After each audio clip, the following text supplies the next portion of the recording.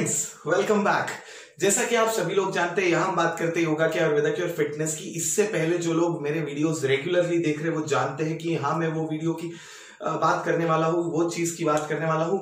जिसकी बात अगर आप फिटनेस फ़ील्ड में हैं या आप एक्सरसाइज करते किसी भी तरह की तो सबसे ज़्यादा बात होती है इस टॉपिक पे और वो टॉपिक है प्रोटीन देखिए, लोगों के दिमाग में गलत इन्फॉर्मेशन है कि प्रोटीन जो है सिर्फ़ आपको नॉनवेज से मिलता है। जो नॉन वेजिटेरियन लोग हैं सिर्फ़ वही लोग बॉडी बना सकते हैं। तो सबसे पहली चीज़ ये बता दू कि मैं खुद भी वेजिटेरियन हूँ। अब आता हूँ अपने पॉइंट पे।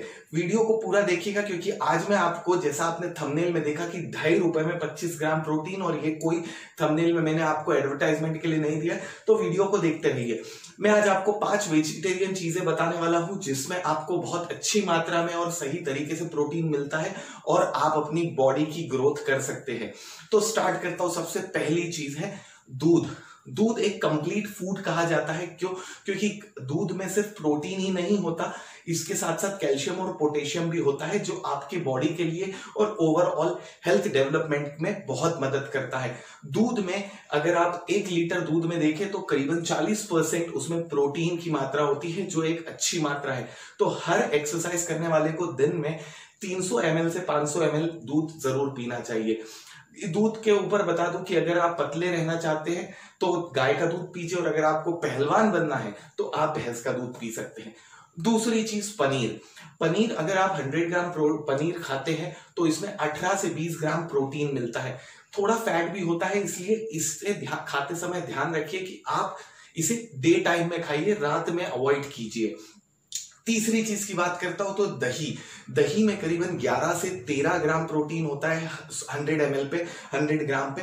तो ये भी एक अच्छा सोर्स है और आपके, इसके साथ साथ दही का एक और काम है, ये आपके गट्स को, आपके डाइजेस्टिव सिस्टम में ऐसे एंजाइम्स प्रोवाइड करता है जो आपके डाइजेस्टिव सिस्टम को स्ट्रॉन्ग करते हैं। चौथे चीज़ की बात करता हूँ, सबसे अच्छा प्रोटीन का सोर्स है दाल। अच्छा दाल और स्प्राउट्स जो है इसमें करीबन 25 से 30 ग्राम प्रोटीन होता है। मैं हर 100 ग्राम की बात कर रहा हूँ। दूसरी चीज़, दालों को कभी भी अकेले मत खाइए, क्योंकि इससे पहले वाले वीडियो में जैसे मैं बता चुका हूँ कि अमाइनो एसिड जो है वो अमाइनो एसिड्स से मिलकर प्रोटीन बनता है। तो इसमें कुछ ऐसे अमाइनो एसिड्स होते हैं जो होते हैं और कुछ अनअवेलेबल होते हैं।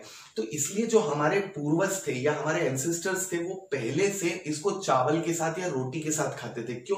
क्योंकि जो अमाइनो एसिड्स दाल में नहीं होते, वो राइस में और रोटी में अपने को मिल जाते हैं। थोड़ा गर्मी ज़्यादा है दोस्तों, और इसलिए मुझे पसीना आ रहा है। अब आता हूँ। तो हमेशा जब भी आप दाल खाते हैं या चावल तो दाल के साथ में चावल को एड ऑन करने की या दाल के साथ में आप रोटी को रखिए हमेशा थोड़े से काप्स को। पांचवी चीज़ बोनस पे बने रहिएगा दोस्तों। पांचवी चीज़, चना। जो काबुली चना है, देशी चना है, उसको आप भिगा के रख दीजिए और दूसरे दिन उस पानी के साथ में उसको खाइए। देखिए, प्रोटीन सिर्फ़ बॉडी बिल्डर्स को ज़रूरत नहीं होती। प्रोटीन आपके सेल टिश्यूज और हमेशा मैं जिसकी बात करता हूँ, आयुर्वेदा में बहत्तर हज़ार नाड़ियों को अच्छे से वर्किंग के लिए ज़रूरी होता है। पर ये एनर्जी का सोर्स नहीं होता। है तो चने में जो है करीबन 28 ग्राम प्रोटीन होता है। देखिए, मैं आऊँगा बोनस पे जो मैंने आपको थंबनेल में दिखाया कि ढाई रुपए में 25 ग्राम प्रोटीन।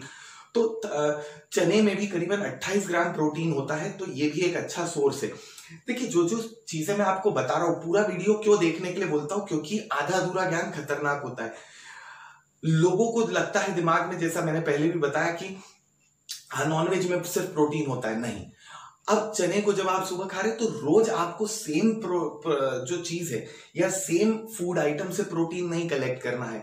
ये हर चीज़ से आपको थोड़ा थोड़ा लेना है। तो किसी दिन आपने प्रोटीन खाया तो रोज रोज आपको सिर्फ़ पनीर से प्रोटीन नहीं लेना है।